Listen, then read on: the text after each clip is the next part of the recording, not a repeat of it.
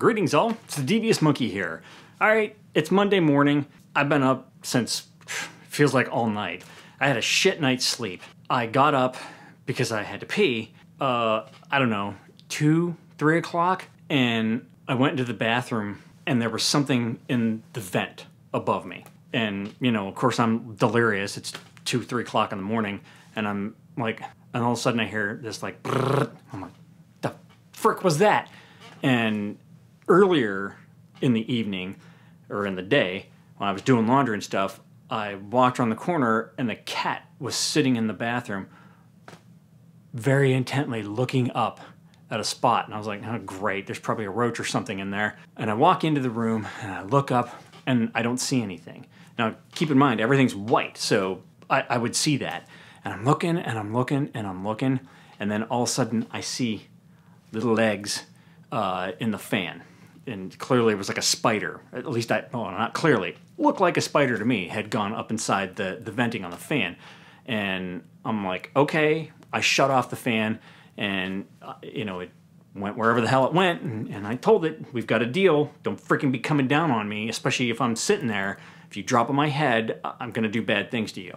And I left it at that. So now here I am in the middle of the night in the dark, and I hear this weird noise up there, and it kept happening to the point where I had to get up again later, like way later, that I didn't even want to go into the bathroom or that bathroom. So I went into the master bathroom and peed there because it freaked me out. Now I still don't know what the hell's in there. And I'm convinced that there's something up in the attic, some kind of animal, whatever.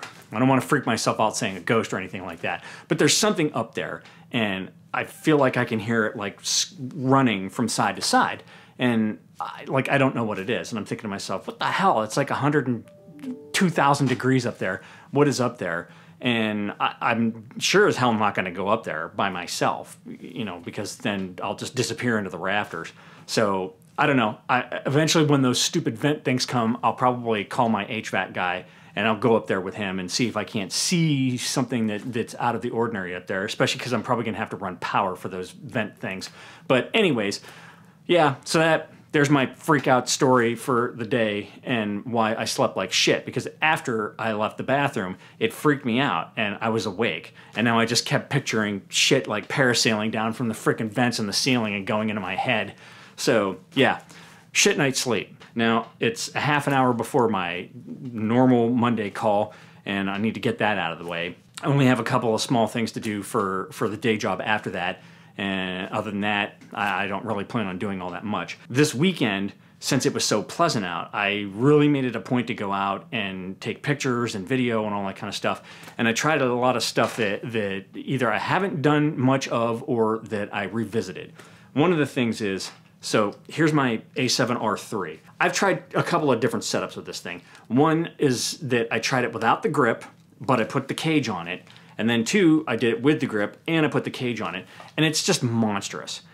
A little bit too monstrous, even for me. And I decided that I wanted to go back to the old school of when I shot Canon, and this was the setup. I basically had my Canon 40D with a grip and a 70 to 200 f2.8 L lens. This is the Sony version. A7R3 with the grip with the 70 to 200 f2.8 G Master version 2. And this is what I used to walk around with all the time. It was my walk around setup and I loved it. So that's what I did this weekend. With the exception of when I went to Pleasure House Point yesterday, I once again tried the two times extender. Now, I kind of have not necessarily bashed it, but I definitely felt a difference with it in that I didn't like it.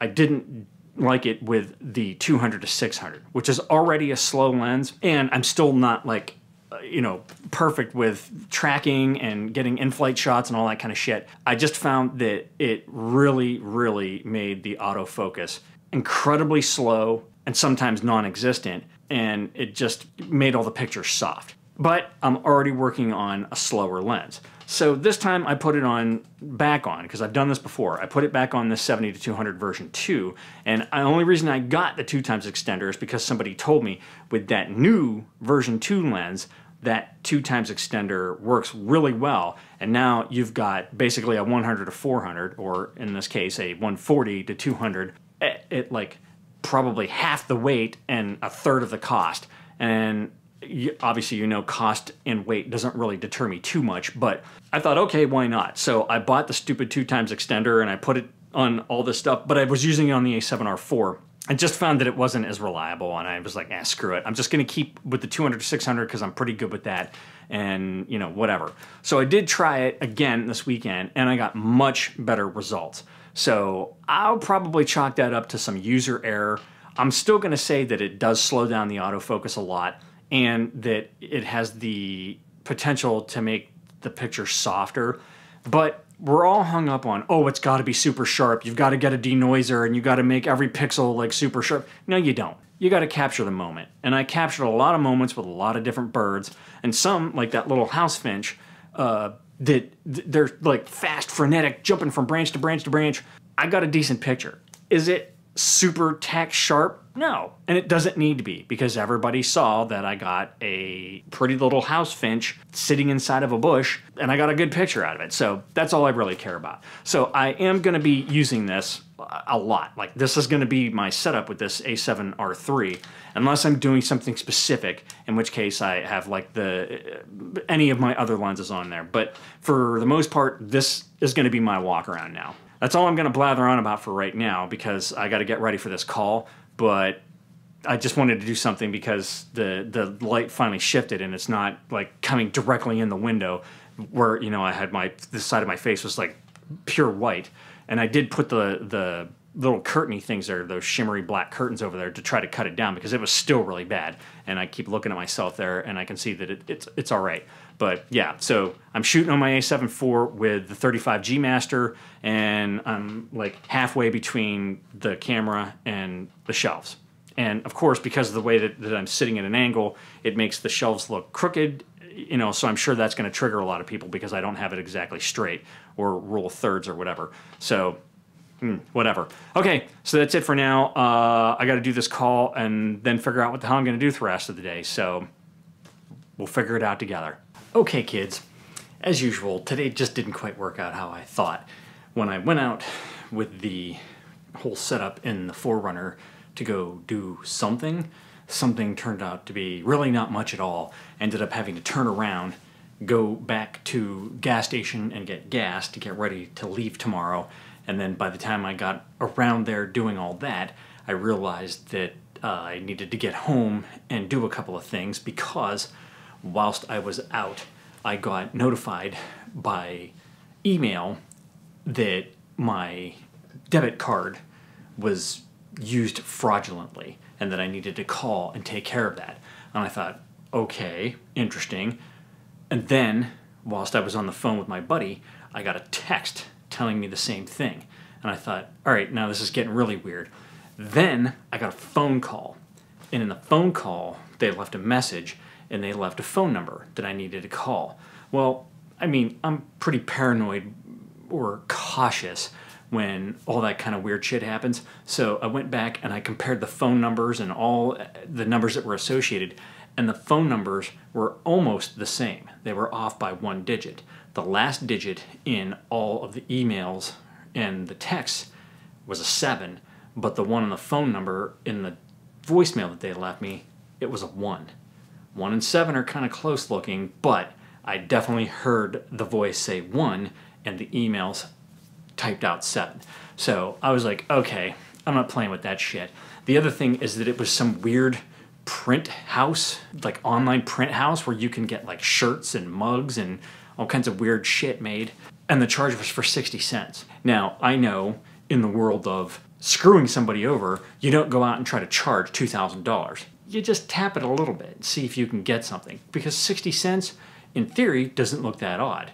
But when it's being charged in Florida and most of the chargers are coming from Virginia Beach, 60 cents looks a little weird. So I actually called my bank directly, and long story short, they ended up, yep, it was fraudulent. They charged 60 cents and 10 cents, or they tried to. The bank stopped it and ended up having to cancel my card. So at this point now, it was 20 after 4, and I needed to hightail it to the bank because the woman said, You can just go to the branch and they'll print you a new card right there. Because if you wait for me to send you one, it can be up to 14 business days. And I was like, Holy shit, I can't wait that long. So ended up just like motoring over to the branch that I usually go to. And she was like, mm, Yeah, sorry, hun.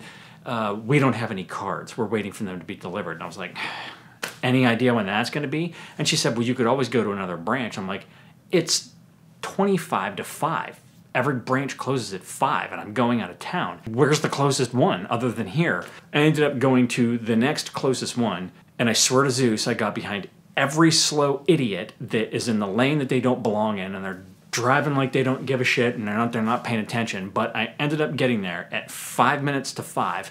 And my branch called that branch and told them that I was coming and what I was coming for. So she ended up just boom, print me out a new card. So crisis averted. So that just goes to show you kids, be careful out there and watch where you're using your card and make sure you have it in a sleeve and blah blah blah blah. But even though I do all that shit, someone still hacked my freaking debit card. Fortunately, I didn't lose any money. Okay, at that point, I have now run all my reports. I've done all the day job stuff that I can do. I was going to do my updates and everything. but Salesforce is messed up because they're changing territories around, so it only shows me with two stores assigned to me, and those are stores somewhere else in the country. So the bottom line is I cannot do the updates until they fix that shit. Good, I don't have to dick around with it. So I'm gonna pack real quick, and then I gotta edit this video, and then I'm just gonna chill for the rest of the night until I gotta leave tomorrow morning. So I will be on the road for the next two days. I'm not gonna promise you a video tomorrow. I think I've got that flow down, but you never know what's gonna happen. And when I'm on the road, all bets are off. So that's all you get for today, maybe the next couple of days. If you have any comments, questions, or suggestions, leave them down below. As always, thank you for joining me. Be sure to like and subscribe. And remember, kids, forward and up. Don't steal people's shit.